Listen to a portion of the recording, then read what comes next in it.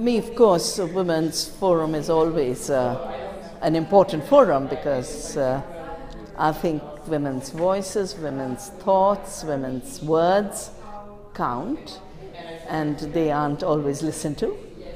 Uh, but a women's forum at a food expo is even more important because if food was left in women's hands, we wouldn't have the mess we face with the climate, we wouldn't have a mess we face with our children's diseases, uh, we wouldn't have a mess with unemployment. Um, so the correction to all the distortions of the food system are first listen to women and then put food in women's hands.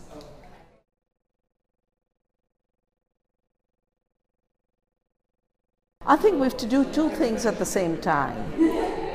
We have to increase the spaces that women shape.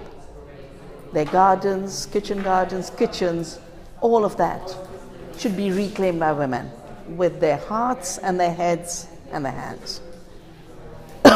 and the other thing we need is all of that knowledge that women have should inform the sustainability dialogues wherever they're taking place.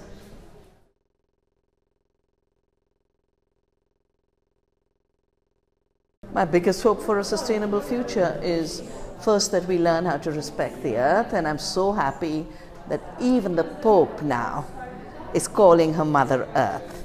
That's a major ecofeminist step.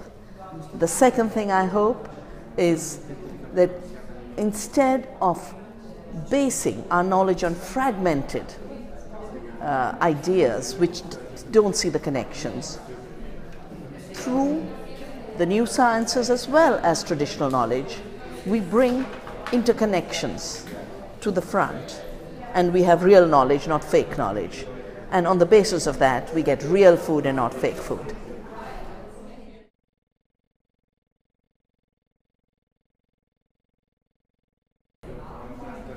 Food in women's hands.